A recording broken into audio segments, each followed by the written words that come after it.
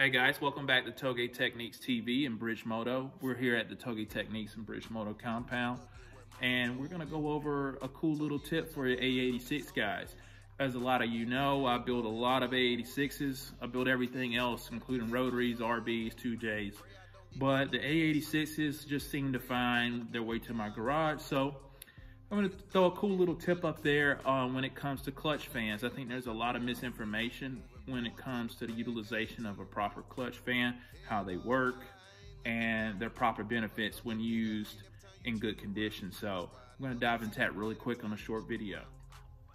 So this is what a clutch fan looks like, obviously without the fan on there. Now this one's in new condition, but I really, really like thermostatic clutch fans uh, when they're in good condition and you have the proper application.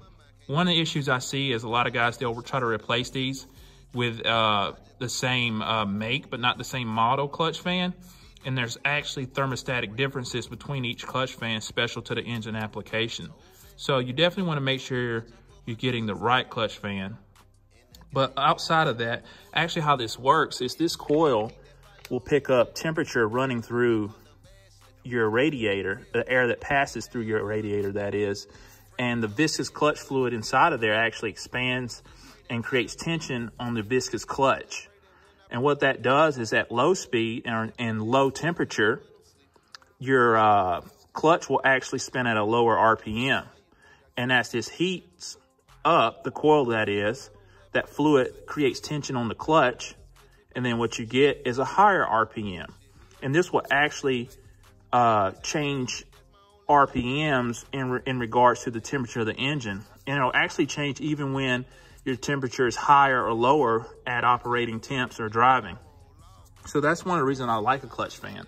Uh, a lot of guys, they'll switch to electric fan unnecessarily. And to me, it's a waste of money if it's an OEM plus or OEM application. Even in some uh, exhibition style application, I still use a clutch fan. I use them on RB25. I use them on uh, SR20 in uh, shop cars, use them in AE86 shop cars. So speaking from experience, they're great. You just got to make sure that you have a good condition one and it's not worn out. Uh, and one of the ways to tell that is that you should have some resistance, but not a crazy amount. It shouldn't be locked up and it shouldn't spin freely either. Like, like on a bearing or whatnot. Should have some tension there. Uh, and that's an easy way to tell. If it's spinning hand-free, like you can take and you can spin the fan, then that clutch is worn out and you need to replace it with the exact application clutch fan that came off of it. So that's just an easy way to save money and get proper performance and have a variable speed fan that a regular CFM fan cannot give you. Now, there are some ones that run off at ECU uh, and that will give you that low and high speed. But to me, this is the cheapest alternative to an excellent cooling fan. And that's just something that I like to run on all my AE86s and customer AE86s. Hope this helps.